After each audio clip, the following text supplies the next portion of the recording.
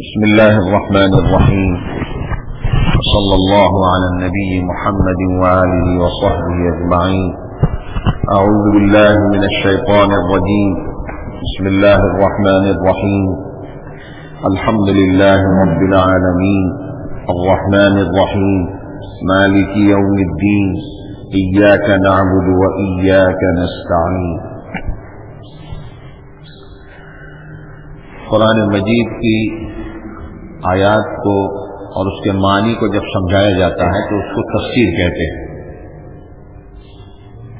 कल इस सिलसिले में कुछ बातें सामने आई थी कि तस्वीर किसे कहते हैं। डिक्शनरी में तस्वीर के क्या माने मिलेंगे आपको? और कुरान मजीद की तशरीह पढ़ते वक्त जब आप वहाँ तफसीर कहते हैं तो उस वक्त तफसीर का क्या मतलब होता है? खुलासा ये बताया गया था, तफसीर के माने हैं अल्लाह के कलाम के मानी को बयान करना।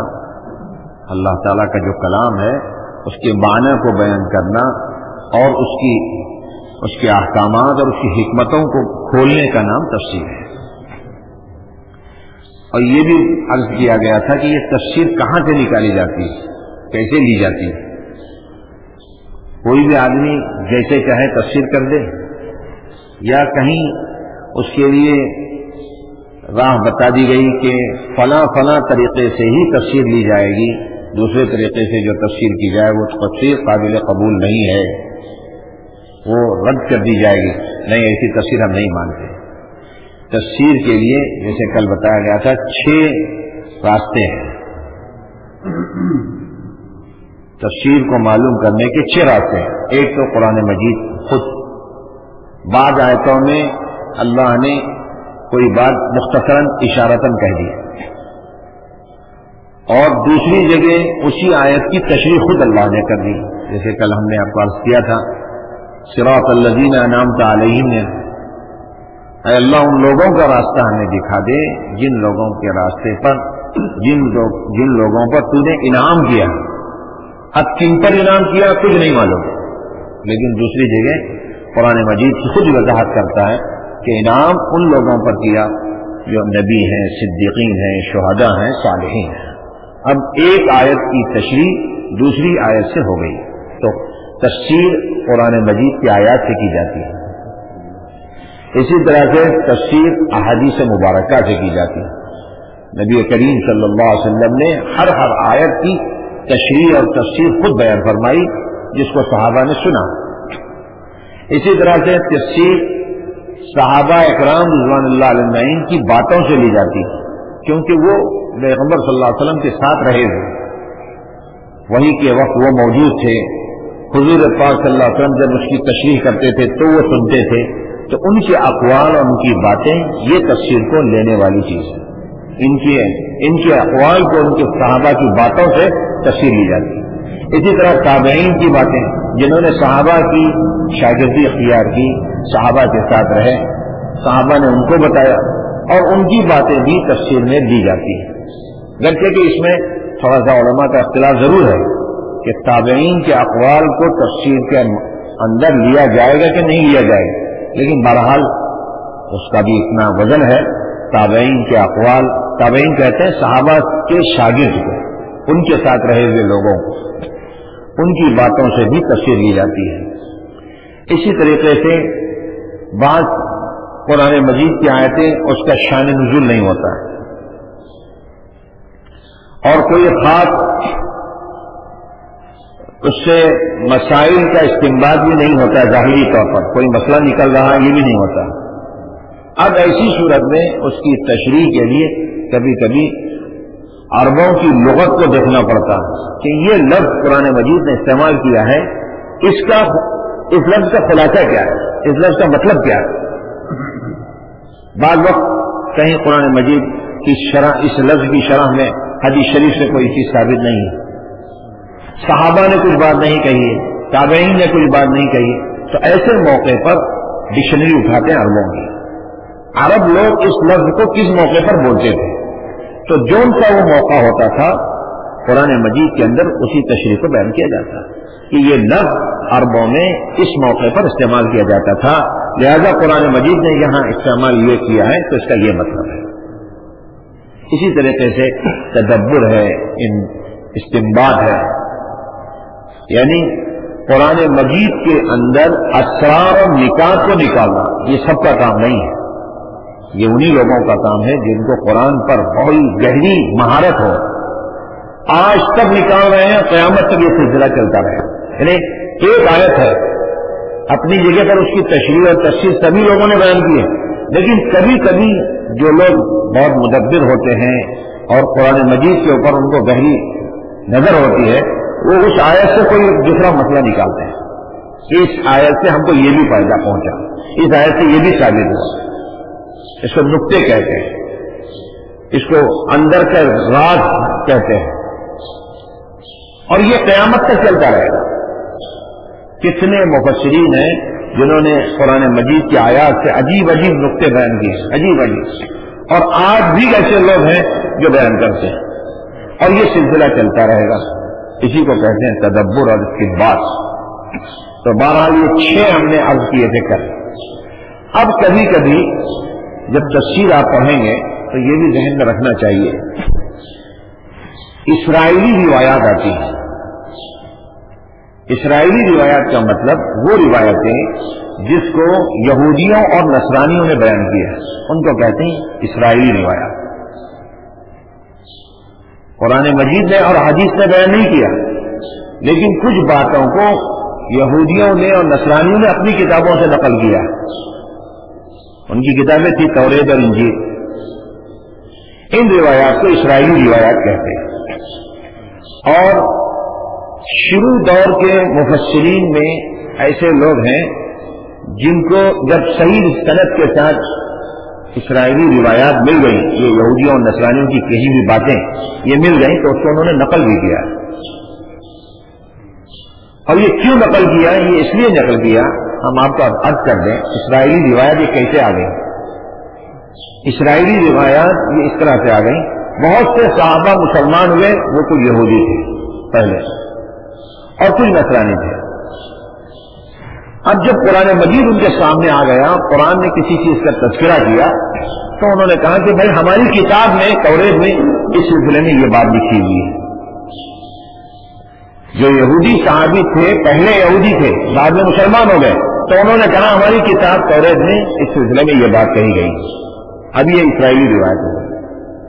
वैसे के सहाबी ने बयान की, लेकिन उन्होंने अपने जमाने में, कुब्र के जमाने में, और उस वक्त जब वो इसराइली, वो यहूदी थे, उस वक्त की बात नकल कर दी कि उस किताब में यूँ लिखा हुआ इसी तरीके से बात नसरानी थे, जो मुसलमान हुए तो उन्होंने कुरान मजीद की आयत पढ़ते पढ़ते कह दिया कि देखो, हमारे यहाँ नसरानियत में इंजील के अंदर ये बात लिखी हुई अब वो, वही बात क्योंकि साहबा से मनकूल है, सही सनत के साथ तो मुफसरीन ने नकल कर दी है।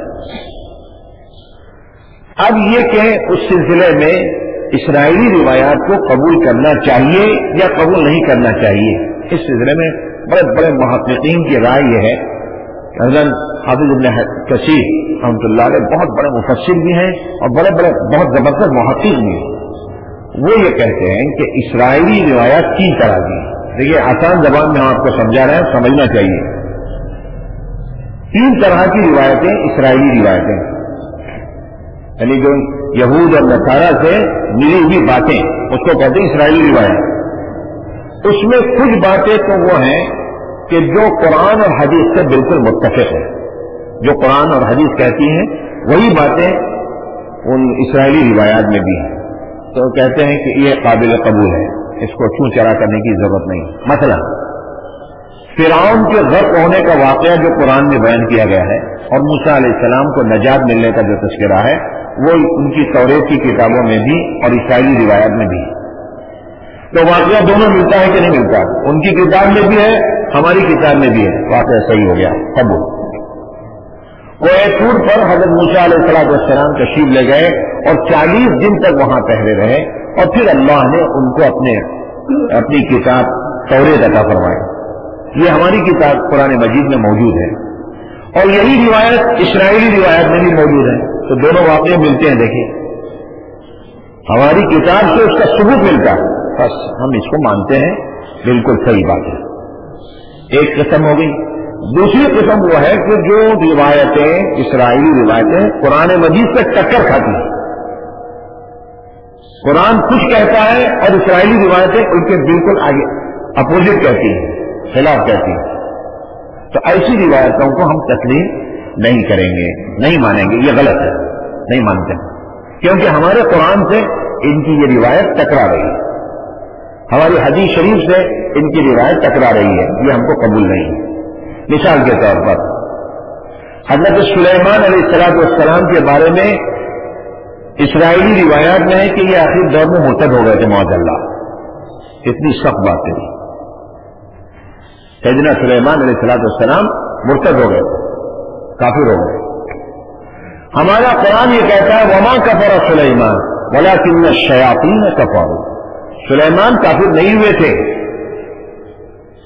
शयातीन ने कुफर किया है। सैदना सुलेमान सलाम ने कुफर नहीं किया। अब बताइए, उनकी रिवायत में कुफर करना साबित हुआ सुलेमान सलाम के बारे में। और हमारा कुरान कहता है कि सैदना सलेमान इस्लाम ने कुफर नहीं किया। तो इन रिवायतों में टकराव हो गई। लिहाजा कुरान को हम असल तस्लीम करते हैं और उस रिवायत को गलत। दो हो गई। एक वो जो कुरान से मिलती है वो काबिल कबूल। और एक वो जो कुरान से टकराती है, वो नाकाबिल कबूल। इसी तरीके से हम मिसाल के तौर पर हज़रत दाऊद सलाम के बारे में इसराइली रिवायत में है कि उनके एक सिपे सालार थे अरूलिया ओरिया उसकी बीवी से हज़रत दाऊद सलाम ने नौजबिल्ला जिना किया। इतना सख्त लग रहा इसराइली रिवायत नहीं यहूद और नसारा से मिली हुई रिवायतें हज़रत दाऊद सलाम ने अपने सिपे सालार से सिपे सालार की बीवी से जब वो जिना किया। और बाद रिवायत में इस तरह से कि उस सिपे सालार को किसी तरह से मरवा कर उससे ज़बरदस्ती निकाह कर दिया दोनों गलत बात है। सईदना दाऊद सलाम के बारे में कुरान मजीद कहता है, वो बड़े नेक थे। और ज़ाहिर है जब कुरान कहता है वो नेक है तो जिना नेक आदमियों से साजिश कभी नहीं हो सकता, जिना कर ही नहीं सकता नेक आदमी। इसलिए कुरान मजीद की आयत से जब ये रिवायत टकरा रही है तो इन्हें नाकाबिल कबूल नहीं मानते। दो बातें होंगी। तीसरी रिवायत वो होती है कि जिसके, जिसको इसराइली ने रिवायत किया है, लेकिन कुरान मजीद उसके सिलसिले में खामोश है, कुछ नहीं कहता है। न कुरान ने उसकी तस्दीक की, न कुरान ने उसको गलत कहा। न टकराती है, न कुरान मजीद से मिलती है। कुरान मजीद खामोश है। तो ऐसी रिवायात को कबूल करने के सिलसिले में क्या हुक्म है? इसराइली रिवायत में कुछ बात है। अब उसका सबूत भी कुरान में नहीं है, और उसका इनकार भी कुरान में नहीं है। ये तीसरी रिवायत। इस सिलसिले में ओलमा फरमाते हैं हुजूर सल्लल्लाहु से भी पूछा गया कि ऐसी हज़रत इसराइली रिवायतें जो कुरान से मिलती भी नहीं है, कुरान उसको झुटलाता भी नहीं है, उसके कबूल करने में क्या मसला होना चाहिए? क्या कहना चाहिए? वो काबिल कबूल है या रद्द करना चाहिए? और वो रिवायतें ऐसी हैं जो कुरान से टकराती भी नहीं और कुरान के मुआफिक भी नहीं। टकराती है तो छोड़ दीजिए, मिलती है कबूल कीजिए, लेकिन वो इसमें से न उसमें से, ये तीसरी जगह। तो ऐसी सूरत में क्या कर आपने फरमाया अल्लाह सब दिखू तस्जीब न मैं उसकी तस्दीक करता हूँ, न मैं उसकी तस्दीक करता हूँ। मैं उसको तस्लीम भी नहीं करता हूँ, और उसको मैं छुटलाता भी नहीं। बस ये आपने बताया। इसीलिए ये तीसरी दर्जे की रिवायतें इसराइली, जिसमें कुरान मजीद से टक्कर भी नहीं है, और कुरान मजीद ने उसकी मुआफत भी और इतफाक भी नहीं किया, उस रिवायतों को न झुटलाया जाएगा, न कबूल किया जाएगा। बस खामोश। इसराइली रिवायत है, हम तस्दीक भी नहीं करते हैं, हम तस्दीक, हो सकता है सही भी हो हो सकता है गलत भी इसलिए न तस्दीक है, न उसको सच मानने की आपको ज़रूरत है, न आपको उसको इनकार करने की ज़रूरत है। खामोश जहाँ तक इसराइली रिवायात को नकल करने का सवाल है मोहकीन ओलमा लिखते हैं, नकल करना जायज़ है, लेकिन उसका कोई खातिर का फ़ायदा नहीं है अलबत्ता रिवायत को बयान करने में हरज तो कोई नहीं है, लेकिन कोई फ़ायदा बहरहाल नहीं। क्योंकि कबूल करने और न करने में असल मैार हमारे लिए कुरान मजीद है अहदीस मुबारक तो कभी कभी आप सुनेंगे कि तफसीर कोई बयान कर रहा है, कोई उसके ऊपर कहता है कि ये इसराइली रिवायत है। तो आपको ये जहन में रहना चाहिए, इसराइली रिवायत का क्या मतलब है? इसराइली रिवायत जो यहूद और नसारा से मनकूल या उनसे साबित शुदा बातों का नाम इसराइली रिवायत और उसके कबूल करने, न करने का ये हुक्म है। हकदान हम सबको उस पर इसको समझने और उस पर अमल करने की तोफ़ी अता सुबह अल्लाह।